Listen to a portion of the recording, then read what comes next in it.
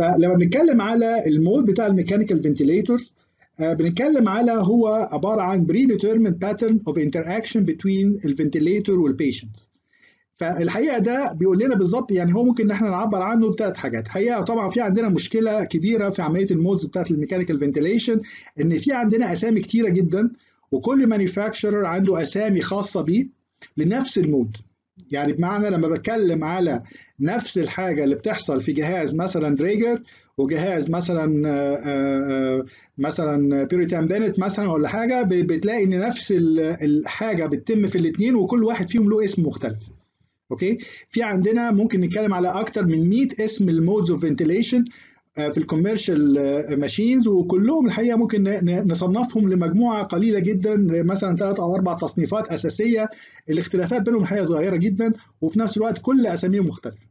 طبعا دي نتيجة لأن ما كانش في عند ال community المصنعين وحتى بنتكلم على ال medical community ما عندهمش standard taxonomy لل modes وبالتالي طبعا دي عملت مشكلة والحقيقة دي موجودة في حاجات كتيرة تانية مثلا منها ال MRI مثلا magnetic resonance imaging عندهم برضو أسماء كتيرة جدا ل imaging sequences ملهاش علاقة يعني هي بتبقى commercial names يعني ممكن نلاقي نفس ال sequence practically موجود في كل الأجهزة بأسامي مختلفة.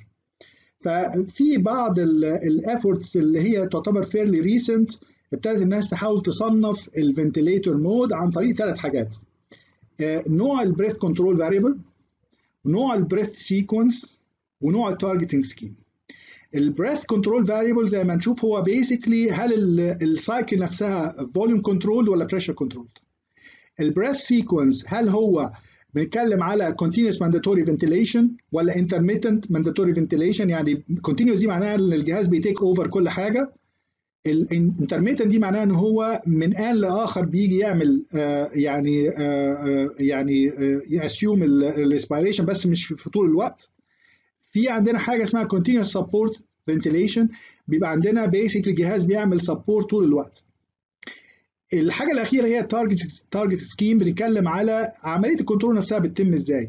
طبعا أبسط حاجة هي عملية ال set point set point معناها الطبيب بيقول إن المريض ده يشتغل بال tidal volume دوت ال volume بتاع الهواء اللي بيدخل داخل ال inspiration هو قد كده.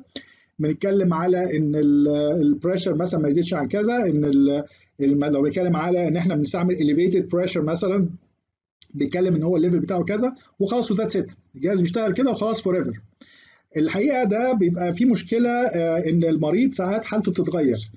فبالتالي لازم الطبيب كل شوية يشوف الحالة بتاعته إذا كانت مستقرة ولا لأ ولو كان في احتياج إنه يغير هو بيغير بإيده يغير manually.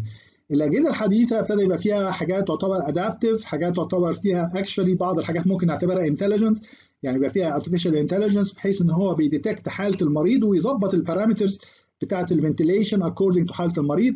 طبعا هي أبسط حاجة طبعا عمليه ال set set point بس عامة لو إحنا عرفنا الثلاث حاجات دول شغالين إزاي نقدر إن إحنا نعرف إن ال mode ده هو كذا ويبقى common between كل ال modes اللي موجودة عندنا في كل الأجهزة.